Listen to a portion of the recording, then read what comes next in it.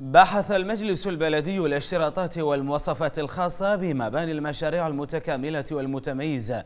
المجلس وخلال جلسته الختامية اطلع على توصيات عدد من اللجان الفنية ووافق على جملة من الاقتراحات والطلبات المقدمة من بعض الجهات الحكومية.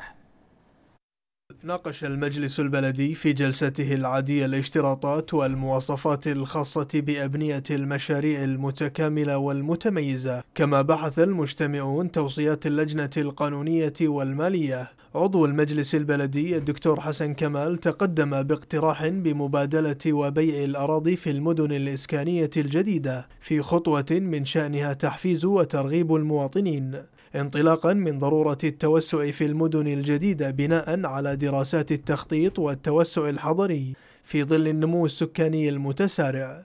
وأكد كمال على أهمية تشجيع الشباب وعوائلهم على الاستقرار الأسري والخدمي في هذه المدن الجديدة وهو ما سيساهم بدوره في الحد من ارتفاع أسعار الأراضي وكبح جماح أسعار الإيجارات والقضاء على الازدحام المروري.